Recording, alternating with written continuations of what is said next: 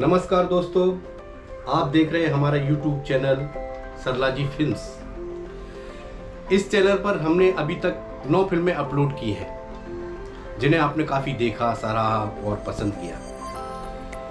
इन सभी फ़िल्मों का राइटर डायरेक्टर प्रोड्यूसर यानी मैं, मुकेश अग्निहोत्री, आप सबका हार्दिक अभिनंदन करता हूँ। और दोस्तों, आज मैं बहुत एक्साइट हूँ कि मुझे आपसे रूबरू बात करने का मौका मिल रहा है। तो चलिए, इन फ़िल्मों के बारे में और हमारे चैनल के बारे में आपसे कुछ जानकारियाँ साझा करना चाहता हूँ। तो दोस्तों, हमने हमारे चैनल पर अभी तक सबसे पहली फ़िल्म थी जो हमारी वो थी, शबाना की पाठशाला।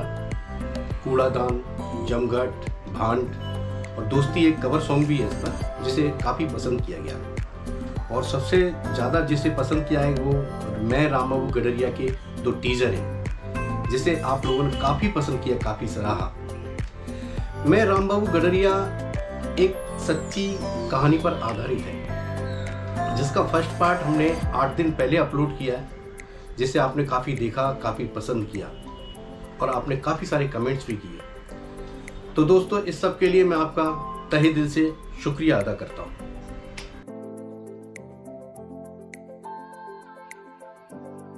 दोस्तों मेरे कुछ दोस्तों ने मुझसे कहा। काफ़ी नज़दीकी दोस्त थे। उन्होंने कहा, यार, तुम फ़िल्में बनाते हो तो क्यों ना डाकू राम बाबू गडरिया के ऊपर एक फ़िल्म बनाओ? मैंने सोचा, यार, वो तो डाकू था, एक अपराधी था, उस पर फ़िल्म क्यों बनाऊँ मैं? तो उन्होंने कहा, नहीं नहीं, ऐसा नहीं है। राम बाबू के बारे में हम जो जानते हैं, वो वैसा नहीं है। उसका चरित्र साफ़ सुथरा था। तो मैंने कहा, एक डाकू का चरित्र साफ़ सुथरा कैसे हो सकता है? पर उन्होंने मुझे काफ़ी दबाव डाला तो मैंने कहा, चलो, कुछ जानकारी हासिल करते हैं राम बाबू के बारे में। और हम अपने दोस्तों के साथ निकल पड़े नरवर की तरफ़। नरवर में राम बाबू की बहन रामसिरी रहती है, जिनका गाँव हरसी था, जहाँ राम बाबू, दयाराम, ये सब रहा करते थे। भितरबार में उनके भाई रहते हैं, छोटे भाई, जिनका नाम है गोपाल वघेल उन्होंने भी हमें काफ़ी सारी जानकारियाँ दी।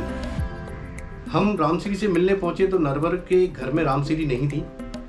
हमें पता चला कि वो गाँव में तो हम गाँव गए तो अपने खेत में काम कर रही थी। वहीं बैठकर हमने उनसे बातचीत की। पहले तो उन्होंने बातचीत करने से थोड़ा सा मना किया, पर जब हमने उन्हें अपने विश्वास में लिया तो उन्होंने हमें राम बाबू के बारे में काफ़ी रोचक जानकारियाँ दी। तो मैं उसके किरदार से थोड़ा प्रभावित हुआ, और तो मैंने कहा, चलिए, एक फ़िल्म बनाते हैं राम बाबू कटरिया तो एक बात और मैं आपको बताना चाहता हूँ कि एक एपिसोड बनाने में हमें कम से कम एक से डेढ़ महीना लगता है। इन दिनों में हम आर्टिस्टों का चयन करते हैं म्यूज़िक बनाते हैं शूटिंग करते हैं एडिटिंग म्यूज़िक काफ़ी सारे ताम झाम के बाद एक एपिसोड तैयार होता है। तो हम दूसरा एपिसोड आपको जल्दी नहीं दे सकते, लेकिन सेकेंड या लास्ट वीक तक हम सेकेंड पार्ट लेकर आएँगे।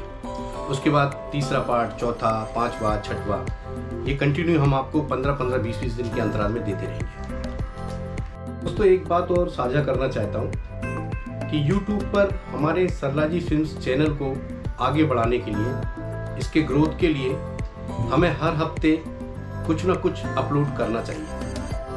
लेकिन होता क्या है, अभी तक हम मूवीज़ बनाते हैं और मूवीज़ जल्दी बनती नहीं है, इसलिए हर हफ़्ते क्या हर महीने भी अपलोड होने के लिए काफ़ी सारी प्रॉब्लम्स हैं। तो हमने एक विचार किया है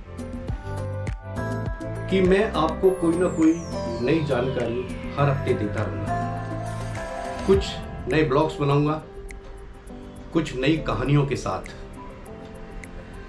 कुछ फ़िल्मों की जानकारी, कुछ देश दुनिया की जानकारी। चलिए मेरे साथ नई कहानियों के लिए, एक नए सफ़र पर, नए ब्लॉग्स के लिए, एक नए सफ़र पर चलने के लिए मेरे साथ तैयार हो जाइए। और देखिए यूट्यूब चैनल पर सरला जी फ़िल्म मैं मुकेश अग्निहोत्री के साथ, तब तक के लिए नमस्कार। जय हिंद।